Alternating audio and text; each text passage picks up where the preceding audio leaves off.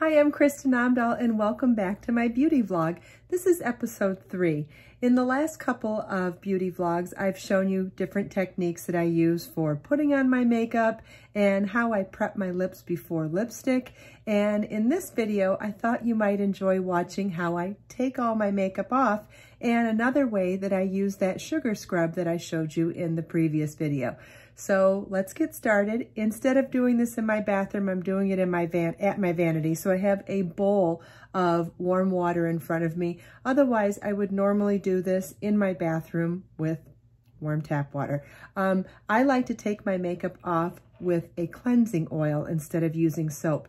There's a couple of reasons why I do this. Number one, Cleaning your face and your skin in general with cleansing oil comes from a holistic background of like defeating like, meaning that you would use oil to clean oil off your face. I like it for a number of reasons. It doesn't remove the natural oils in my skin, but it does remove makeup and unclog my pores from anything else that any kind of pollution or dirt that I've acquired throughout the day. It's very mild on my skin and it leaves my skin feeling moisturized, not dry at the end. And it's really easy to do also. So I'm gonna start by taking off my eyelashes, not my real eyelashes, the ones that I put on, the false lashes that I like to wear. You can also clean those with cleansing oil too. I would just use a Q-tip and rub off the little bit of glue residue that's on there or any makeup residue that remains. I'm gonna start with a washcloth and get it wet. I like to get my face wet first before I put the oil on. And I think part of it is just because I like um, to have my skin warm and moist first too. Okay, I have oil in my pump bottle. I like to combine two oils. I prefer argan oil and avocado oil, but you could use coconut oil, you could use olive oil, you could use sunflower oil, almond oil. Uh, I just think it's nice to combine two oils together. And if you wanted to do a little research on it, there are certain oils that are better for acne prone skin.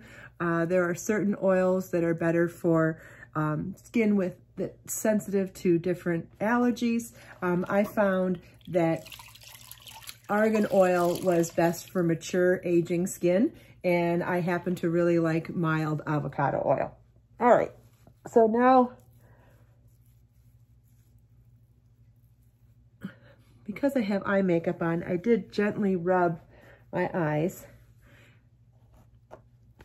I'm gonna rinse the water, rinse my uh, washcloth one more time. And then in general, I like to rub circles on my skin I think that it helps the warm water and the oil. The warm water opens up your pores and then the oil and the light friction of the washcloth helps remove the makeup and the oil off of my face.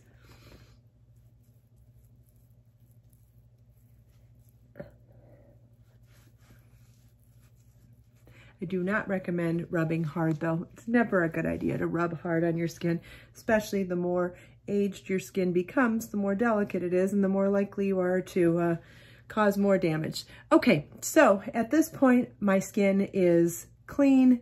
It is not greasy or oily at all. It just feels clean. It feels moist, but it does not feel oily at all.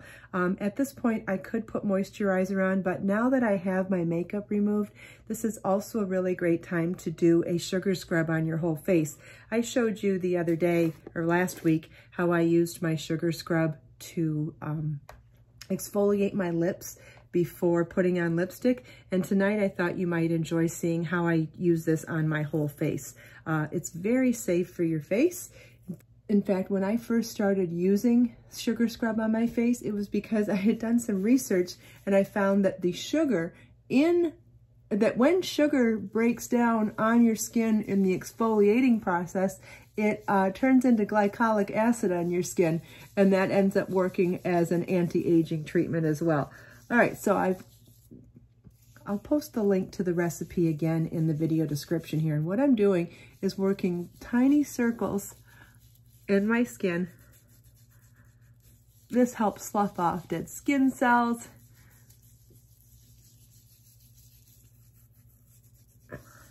It makes your skin feel so incredibly smooth. It also helps promote circulation. And I wouldn't rub really hard. I would rub gently. But oh my gosh, it feels so good. This feels really good on your hands too. Anytime I exfoliate my face, I always try to work on my neck as well, and you could work on your chest.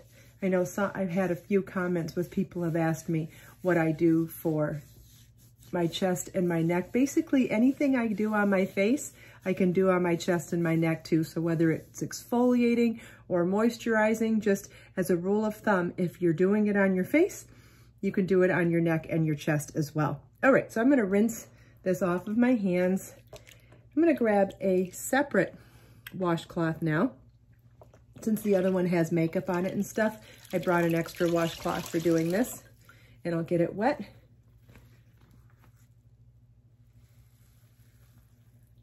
Oh gosh, that feels so good. The best part of doing the sugar exfoliation, oh, by the way, I don't love salt scrubs on my face. I feel like they're a little harsh. The sugar definitely feels softer on the face than uh, salt. That's why I prefer a sugar scrub. I feel like it's just a little bit more mild, but man, is it effective. One, let me rinse my face one more time. Oh. Okay, dry it off a little bit.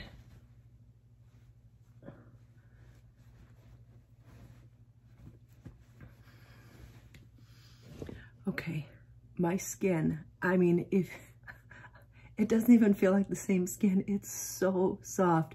Sloughing off those dead skin cells, it just brings a new life to your skin. My skin feels tighter. It feels smoother. Oh, just feels amazing. Next, I like to apply my eye cream. It Doesn't take very much, just a little dab under each eye.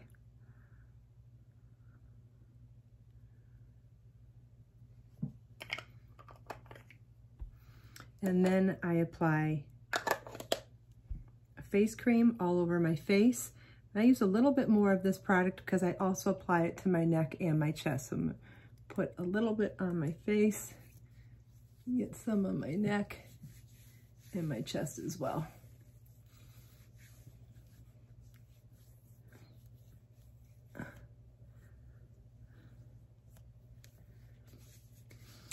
There we go, and that's my nighttime routine. If you have any questions, please leave them for me in the comments. If you end up trying my sugar scrub or my cleansing oil recipes, please feel welcome to let me know what you think. If you have questions about anything at all or requests for new videos, please leave those for me in the comments as well. Let us make time to create, share, and inspire today and every day. I'll see you in the next video.